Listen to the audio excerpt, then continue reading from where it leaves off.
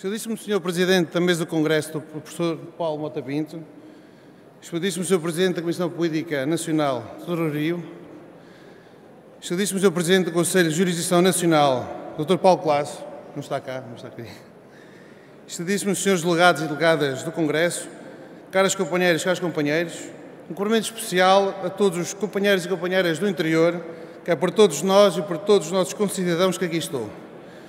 Vivemos numa época de mudança de paradigma. Nunca em 2021 a palavra transição foi tantas vezes utilizada. Todos os dias somos confrontados com mudanças de paradigma na indústria, nos serviços, nas instituições públicas e na vida das pessoas. A transição ambiental, energética e digital invadiram o espaço mediático e os seus projetos são os mais potentes nas candidaturas a fundos nacionais europeus, como é o caso do famoso PRR.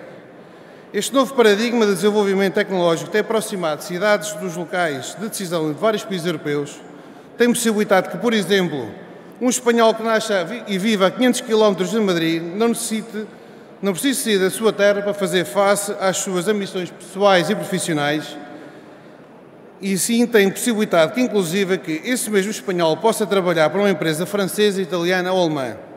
Se for o caso e tiver necessidade de se deslocar e trabalhar nessas outras cidades, pode ser comunicações terrestres e aéreas na frequência e custo que não impossibilita a sua mobilidade.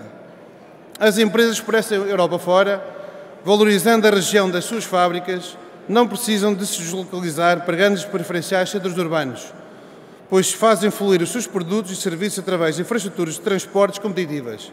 Em Portugal, contraciclo com a grande maioria do mundo desenvolvido, continuamos a sentir o síndrome do isolamento e do esquecimento de algumas regiões do interior e do centro face ao centralismo de Lisboa e do Porto.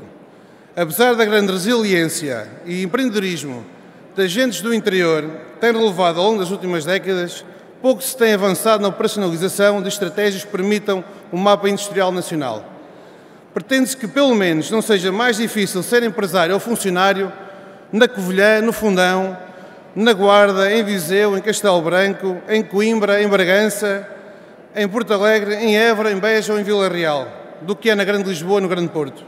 Assim, porque temos a convicção que o PSE não pode e não se deve auto-excluir-se desta discussão, apresentamos a moção correspondente à lista do interior que agrega pessoas que defenderão no Congresso e no Conselho Nacional propostas de descentralização de vários níveis, Naturalmente que não queremos apresentar propostas que prejudiquem o dinamismo da capital ou de outras cidades importantes do litoral. Pelo contrário, o que pretendemos é valorizar o interior e com isso temos a convicção de valorizemos Portugal.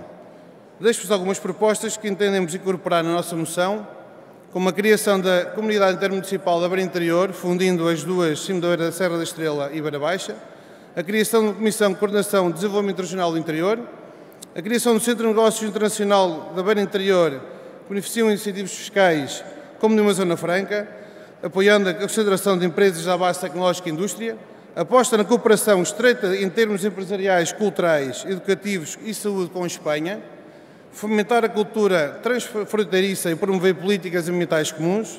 No turismo, defendemos a criação de uma entidade promotora do turismo própria da Beira Interior, e criação de um pacote específico de incentivos fiscais, como a TSU, IRS, no IRC, muito semelhante ao praticado já nas regiões autónomas. Redução progressiva do valor dos escudos, como tem sido defendido há vários anos, sobretudo pelos deputados do PSE.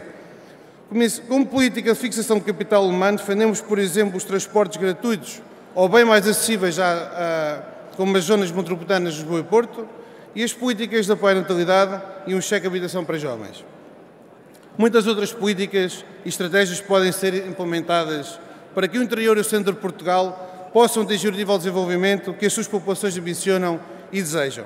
Mas, acima de tudo, um partido como o PSE, com uma matriz fortemente impulsionada por empresários e por iniciativa privada, muitas vezes fora dos grandes centros urbanos, deve liderar este movimento pela valorização do interior.